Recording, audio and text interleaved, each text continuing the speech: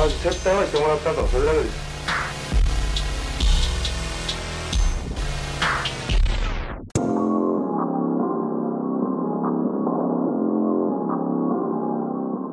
This is Akio Masuda, a pitcher who spent nine seasons in Nippon professional baseball through the 1960s and 1970s. He spent the majority of his career as a reliever, never throwing more than six starts in a season. That was until 1968. After his sixth season with the Yomiuri Giants, Japan's baseball powerhouse, Masuda left the team to join the Nishitetsu Lions. From there, he became a starting pitcher and was a machine for the Lions, producing two great seasons in 1968 and in 1969. However, after just three starts in 1970, Masuda never pitched again. At the age of 32, Masuda was out of baseball what happened? If you stumbled upon a Connecticut based newspaper known as The Day on May 26, 1970, you would know this answer. Masuda, along with two other Lions pitchers, Masaaki Ikenaga and Yoshinobu Yoda, were banned from Japanese baseball for life.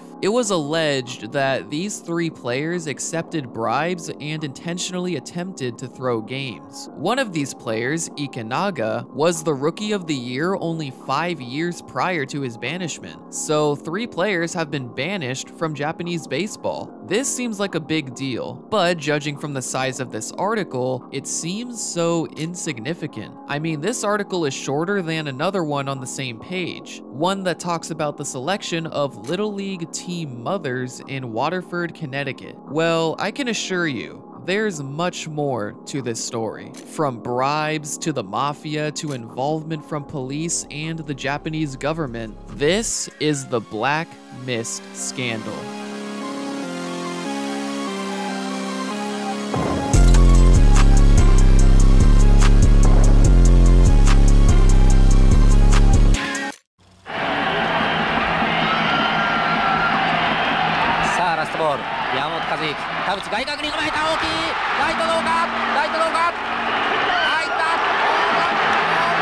To fully comprehend the impact of this scandal, we have to understand the origins of baseball in Japan and how it became the most popular sport in the country. Today, baseball is the biggest sport in Japan. Their high school baseball championship is akin to a college football bowl in the US. Their pro league, Nippon Professional Baseball, is similar to MLB in terms of rules and structure, and is widely regarded as the second best baseball league in the world. The history of baseball in Japan is long and vast. However, the Black Mist scandal could have easily unraveled the early workings of professional baseball in Japan. In 1934, Japanese newspaper owner Matsutaro Shoriki created a team of Japan's best players. The team was known as the Greater Japan Tokyo Baseball Club. This team initially played against American All-Star teams featuring players like Babe Ruth, Lou Gehrig, and Jimmie Foxx. While this team wasn't Japan's first pro team, it was the first to generate the publicity that it did. Shoriki's vision was to kickstart a pro baseball scene in Japan Japan by using the hype generated from these all-star level games. In fact, in one of these games, legendary Japanese pitcher Eiji Sawamura allowed only one run against the US team,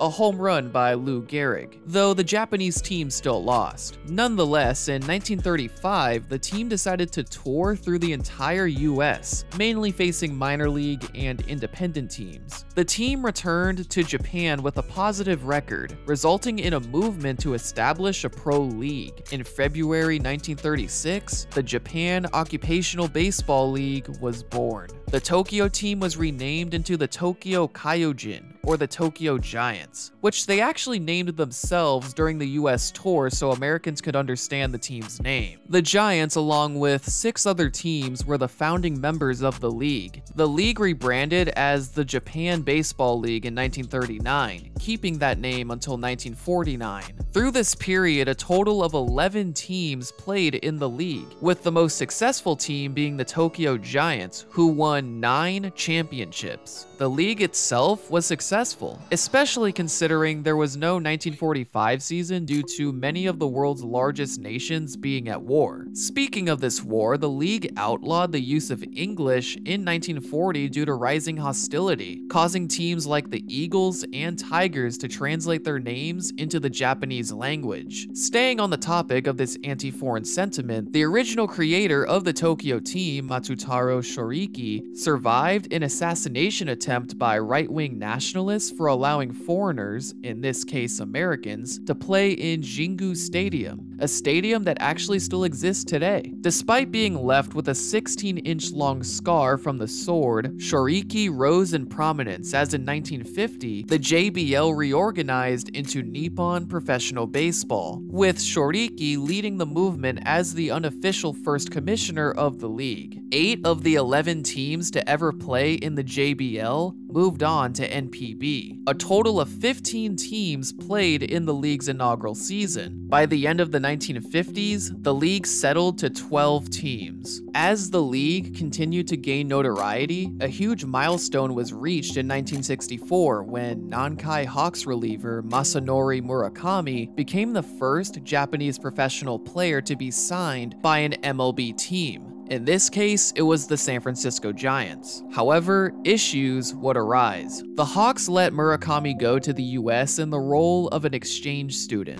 南海ホークスで今ソフトバンクホークスのマネージャーが私の家にスカウト来てで私はノープロフェッショナルって言ったんですけど帰る時にあの If you sign the contract sent to United States starting the baseball って言った途端に I changed mind he started by playing for the Giants' single A team in Fresno, and he played so well that he was brought up to the major league team. He made his big league debut on September 1st, 1964, becoming the first Japanese born player to play in MLB. He played really well, so the Giants refused to send him back to Japan. Well, Mr. Franks had other ideas, and so did Bob Shaw.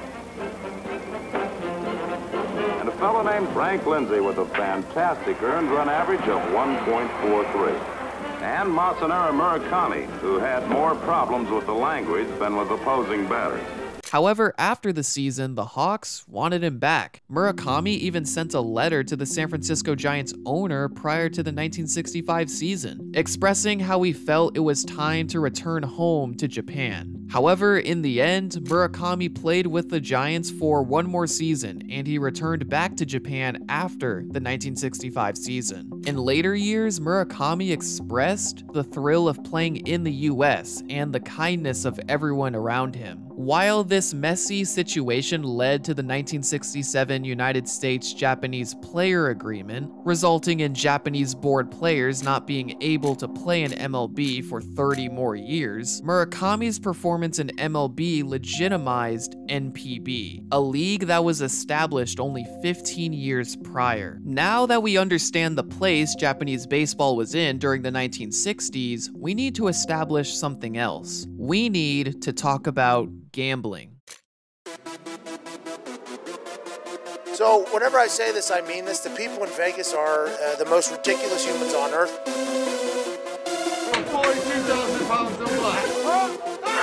The two main daily fantasy sites, DraftKings and FanDuel. Join FanDuel Sportsbook.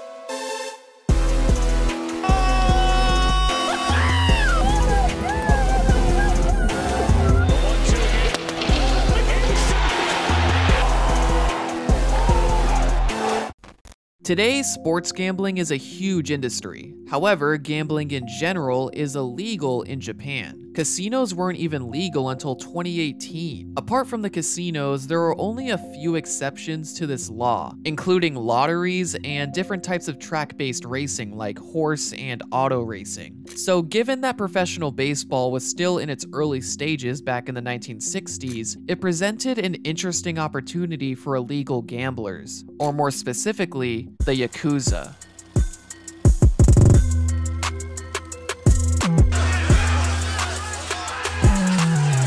The Yakuza, or to oversimplify them as the Japanese Mafia, hit their peak in the 1960s with more than 180,000 members, over 10 times the number of members today. With the rise of professional baseball in the 1960s, it makes sense they would be interested in gambling in this new territory, but they would end up going a step further by diving into match fixing. In October 1969, the management of the Nishitetsu Lions suspected that something fishy was going on. While the Lions were more than a decade past their previous championship, the franchise possessed the second most championships in league history with three. So whatever they suspected was going to seriously harm not just the team, but the league as a whole. The team suspected pitcher Masayuki Nagayasu was attempting to intentionally lose games. Nagayasu made his NPB debut in 1964, with his peak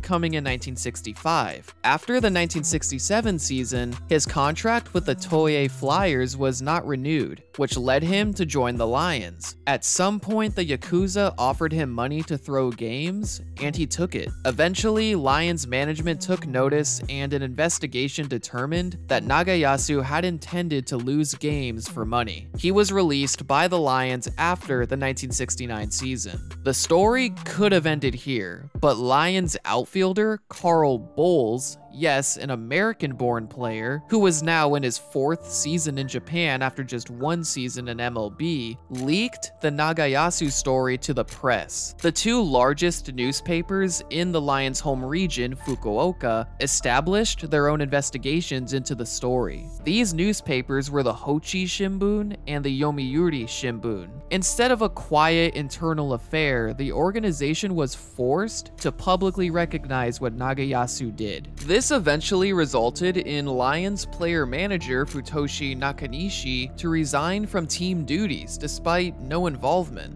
After this revelation, debates ensued between league officials on whether to hand Nagayasu a lifetime ban. In the meantime, the scandal only got bigger. On October 17th, an issue of the Shukan Post questioned whether Chunichi Dragons star pitcher Tsutomu Tanaka played a role as well. On October 21st, with his lawyer, Tanaka visited the Shukan Post headquarters and demanded an apology, which he never received. The scandal went quiet for about a month, until the three commissioners of the league permanently banned Nagayasu on November 28, 1969. He became the first ever player to be banned from Japanese professional baseball. Nagayasu would disappear from the public for the next few months. The team president of the Lions, Naotoshi Kunihiro, would resign as well. Going back to Tsutomu Tanaka, he was informed in December that no one would take his contract, so he was essentially blacklisted from the league. This led to Tanaka filing a defamation complaint with the Tokyo District Public Prosecutor's Office. With a new year and a decade approaching, the league hoped this would be the end of it, but the press was not done snooping around. Fast forward to February 13th,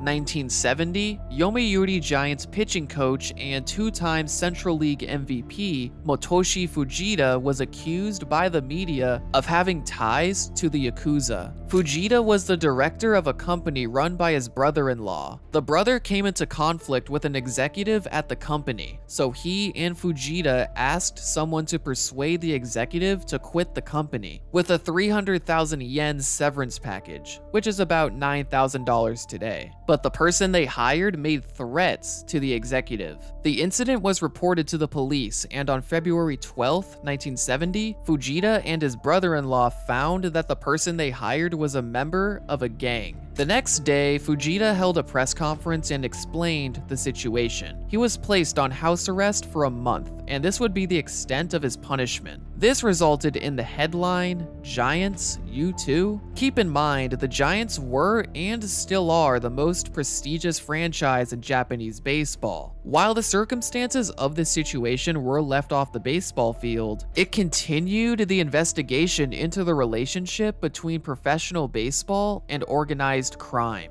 By March 1970, the scandal had reached national attention as the National Diet got involved, which is essentially Japan's Congress. However, they needed someone to interview, preferably Masayuki Nagayasu. However, Nagayasu had not been seen since his banishment in late November. The members talked about involving the government's National Safety Commission as there were rumors that Nagayasu was being held on house arrest by the Yakuza,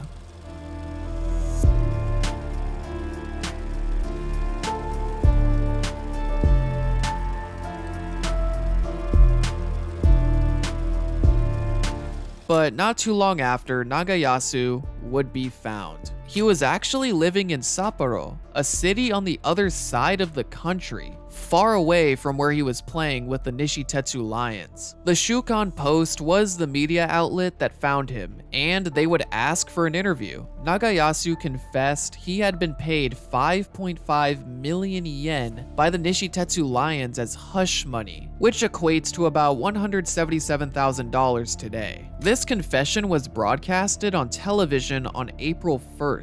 In the interview, Nagayasu said he wasn't the ringleader and was approached by a teammate to take part in the operation. He had only been told three times to deliberately lose a game. Two were unsuccessful, with a successful attempt earning him only 200,000 yen which is about $6,400 today. After the initial report in late 1969, Nagayasu was invited to the house of Lions team owner Muneo Kusune. Nagayasu was told he would be taken care of for the rest of his life if he laid low after his banishment. However, Nagayasu had much more to say.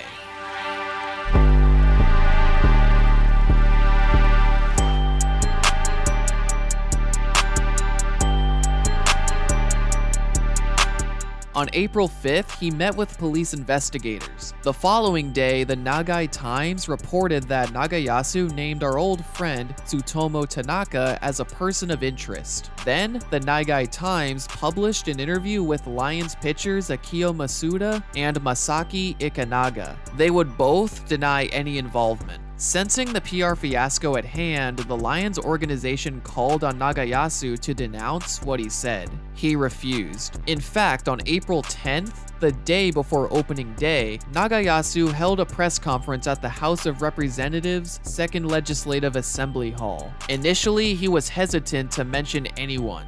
Eventually, Nagayasu would name seven players. Akio Masuda, Yoshinobu Yoda, Masaaki Ikenaga, Kazuhide Funada, Mitsuo Motoi, Kimiyasu Murakami, and Tsutomu Tanaka. The only non-Lions player was Tanaka, who played for the Chunichi Dragons. Nagayasu said that he was invited by Yoda to take part after Yoda had met with a person only known as Fujinawa, and it all started from there. Of course, the Lions organization proclaimed innocence. The six players were called in by the Lions front office for questioning, but they all refused to appear. Pacific League president Yu Okano flew to see the Nishitetsu team president Yuzo Aoki, as well as team manager Tetsuo Fujimoto. These three decided to form their own internal investigation, which led to Okano concluding the team was innocent. But the media criticized the investigation, saying it was too passive.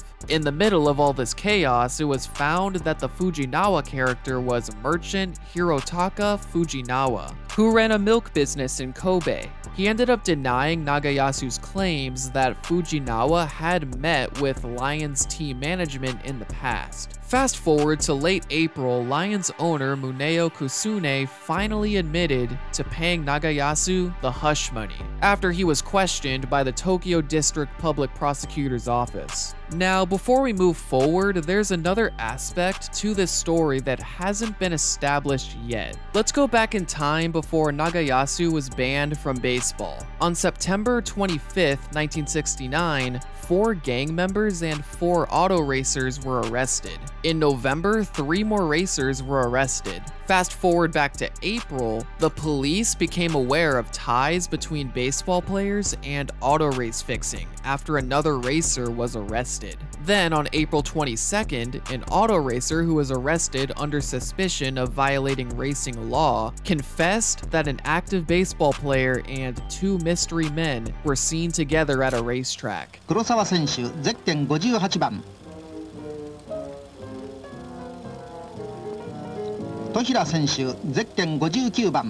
This resulted in an investigation of Tsutomu Tanaka, former Taiyo Whales pitcher Isao Takayama, and the milk merchant Hirotaka Fujinawa. So, what does this all mean? Well, this scandal wasn't limited to just one sport. This was getting really bad.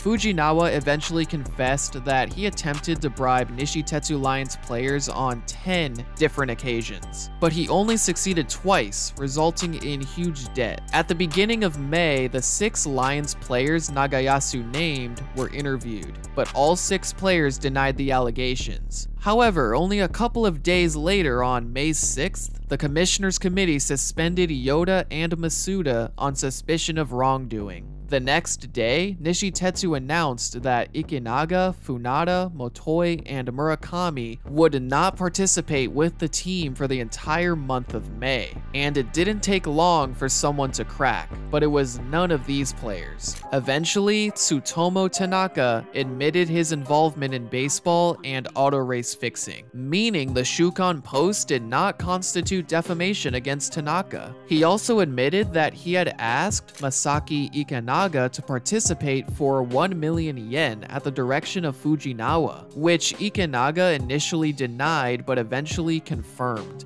Not too long after, on May 12th, Yoshinobu Yoda admitted involvement, saying he approached Mitsuo Motoi and Kimiyasu Murakami, but they refused to take part. Motoi and Murakami both received money but returned it very quickly, while Kazuhide Funada never received any money. On that same day, Nishitetsu Lions owner Muneo Kusune resigned as president of Nishitetsu headquarters and as owner of the team. However, we would soon find out that the scandal wasn't limited to these teams. There were more names coming out of the woodwork. Back in the beginning of May, the Yomiuri Shimbun reported that Dragons pitcher Kentaro Ogawa and former Dragons infielder Takao Katsuragi had been involved in auto race fixing. Like Tanaka and Ikenaga, Ogawa was one of the best pitchers in the league. Ogawa turned himself in and was arrested on May 6th. He received an indefinite suspension. A couple weeks later, Takao Katsuragi was arrested for suspicion of involvement in auto race fixing and he was suspended for three months. On May 9th,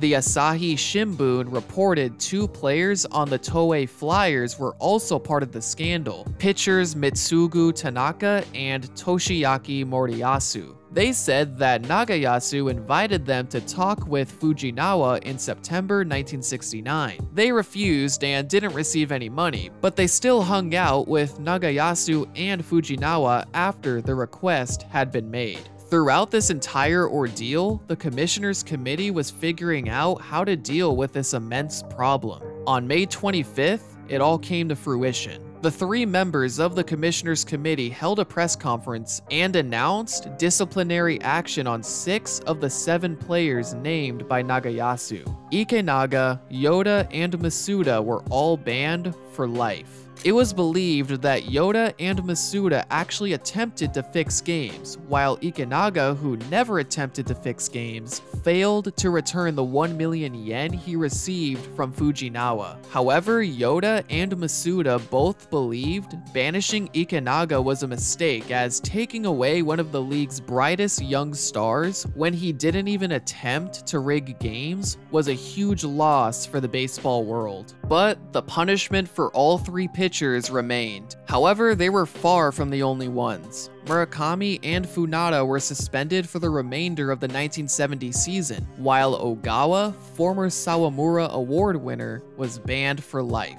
As for Mitsugu Tanaka and Toshiaki Moriyasu, Moriyasu was banned for life after admitting he accepted 500,000 yen from Nagayasu to throw a game. As for Tanaka and Mitsuo Motoi, they were given severe warnings. On July 30th, chairman of the commissioner committee, Toshiyoshi Miyazawa, said that while the black mist in baseball had been contained for the moment, there was reason to believe that this would not be the end. And well, he was right. July 1st, Osaka Kintetsu Buffaloes outfielder Masahiro Doi was arrested on suspicion of gambling and was later suspended for one month. September 8th, Yakult Atoms infielder Takeshi Kuwata is arrested on suspicion of conspiracy to defraud an auto race. He was suspended for three months and never played baseball again after he became a free agent. November 30th, one of the league's best pitchers, Hanshin Tiger starter Yutaka Enatsu, is given a warning for interacting with a baseball gambling addict. Fun fact, Enatsu joined the Milwaukee Brewers during spring training in 1985, but he was cut before the season started. January 11th, 1971, Nankai Hawks pitcher Kiyohiro Miura is given a warning for failing to report an interaction by Kimihiro Sato to take a loss. Sato never faced punishment as he retired after the 1969 season. January 29th, Taiyo Whales coach Takashi Suzuki and pitcher Katsuji Sakai are suspended until May 1st for alleged involvement with a gang. February 15th, Lotte Orion's pitcher, Fumio Narita, is suspended for one month for allegedly interacting with a baseball gambling gang. So, as you can see, a wide variety of players faced punishment for their actions. The total number of players? 21. Eight of the 12 teams in the league had at least one player implicated in this scandal. However, if Tsutomu Tanaka was to be believed, he testified that at least 70 players were approached or took part in the scandal, although this was never really verified. The team who lost the most players was the Nishitetsu Lions, as they lost three players to permanent bans and two players to one-year suspensions. The Lions, who had already been dwindling towards the bottom of the Pacific League, fell to last place for the first time in team history and stayed there until 1972. After the 1972 season, as the result of plummeting popularity, the team was sold to the Fukuoka Baseball Corporation and were renamed into the Taiheiyo Club Lions. After a couple more name changes, today the team is known as the Saitama Seibu Lions. As for the auto racing aspect of this scandal, authorities became aware of at least 30 racers being involved in race fixing throughout the duration of the scandal. Since there were about 120 racers that raced at the two main racetracks at the time, this meant that one in four racers were involved in the scandal. Although not everyone who was accused ended up playing a part in the scandal. In October 1970, auto racer Tokio Hirose, one of the best racers in Japan, was arrested on suspicion of race fixing. He spent the next five years in court battles as he said he was wrongly accused. Instead of racing in his prime, he was forced to deal with these accusations. In October 1975, five years after his initial arrest, he was finally acquitted by an appeals court and was able to return to racing. Although not every story has to be doom and gloom. Taking a page out of my Stark Raving sports book, if it wasn't for this scandal, pitcher Osamu Higashio would not have flourished into the star pitcher he eventually became. In 1968, Higashio was the first overall pick by the Nishitetsu Lions. However, in his first pro season in 1969, he lost confidence due to his poor performances. He even thought about becoming a hitter. However, because of the pitcher shortage the Lions faced as the result of multiple bans and suspensions, Higashio was forced to stay in the rotation. It didn't take long for him to find success. In fact, as the result of a very successful 20-year career, he was inducted into the Japanese Baseball Hall of Fame in 2010. And this all happened because of the banishments of three of his teammates, with the most notable of these players being pitcher Masaaki Ikenaga. And let me tell you, Ikenaga's story did not end with his ban. At the time, Ikenaga was 23 years old and was in his sixth season of his pro career when he was banned. In his rookie season, at just the age of 18, Ikenaga was dominating hitters. There's a reason Akio Masuda and Yoshinobu Yoda were upset on learning about their teammates' demise the game of baseball was losing a very special talent. Keep in mind, while Ikenaga did accept 1 million yen, he never used it and never attempted to intentionally lose a game. Tsutomu Tanaka, the player who gave Ikenaga the money, said that he knew Ikenaga would never accept, but he was told to give Ikenaga the money anyway.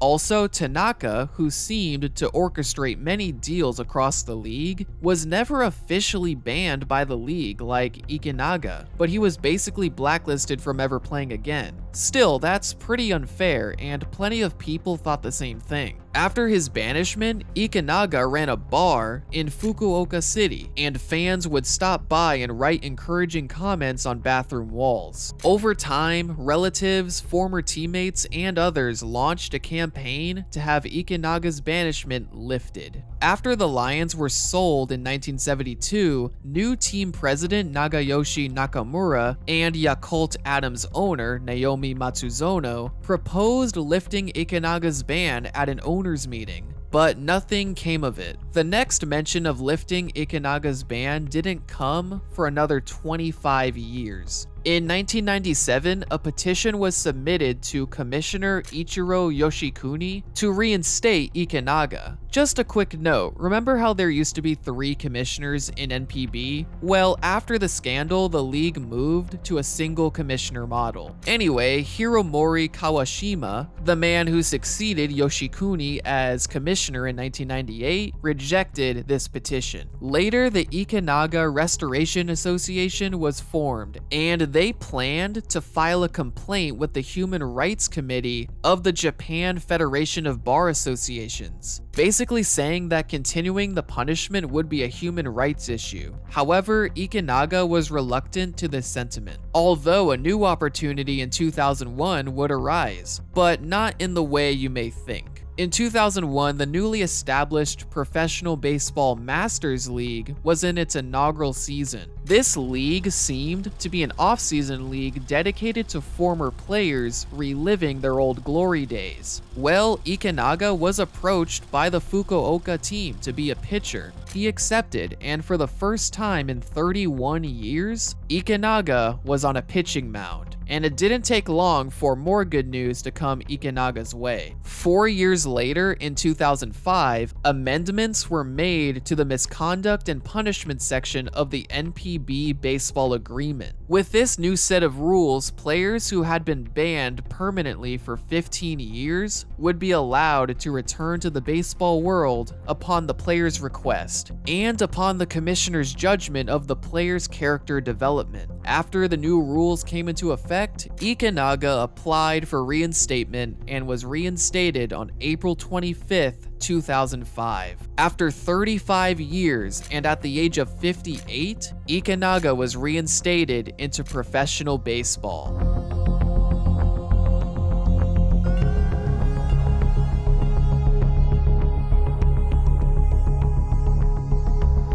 It's a shame that Ikenaga never got to live the Hall of Fame career he was destined to have, but he's turned that negative into a positive as he's still involved in Japanese baseball today.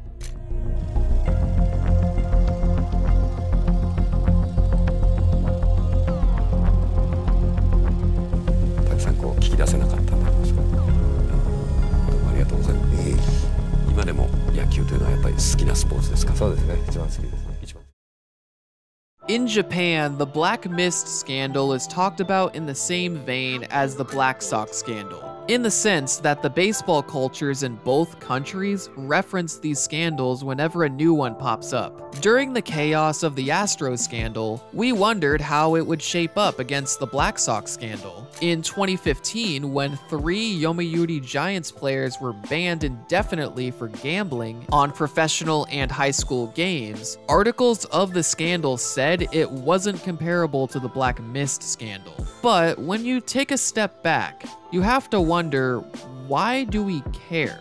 Let's think about it. The Black Mist scandal is the biggest scandal in Japanese baseball history, but it's actually not the only Black Mist scandal in Japan's history. In the 1960s, there was a scandal that involved Prime Minister Eisaku Sato, in which it was said that bribery surrounded politics like a black mist, hence the term Black Mist scandal. But if you asked a person off the street in Japan to say what the Black Mist scandal was, they would likely reference the baseball scandal. Why do we care about the sports scandals more than the political scandals that could actually affect our well being? Well, Isaac Meyer of the History of Japan podcast, I think, puts it best, and I'm going to paraphrase as best as possible. We turn to sports as an escape from everyday life. We form attachments to players, teams, and the sport itself. When some sort of cheating scandal comes to fruition, it opens you back up to the real world. The pureness of the game is ruined.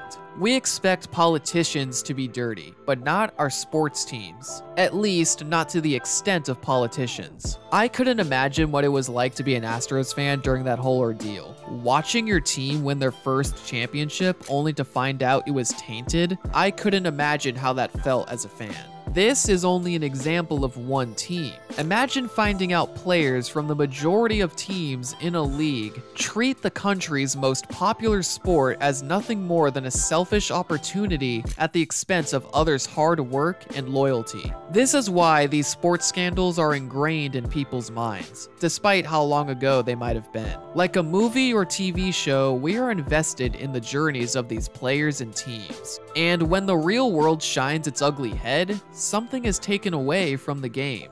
But like Masaaki Ikenaga, all we can do is learn to live with the circumstances and try to turn the situation into a positive.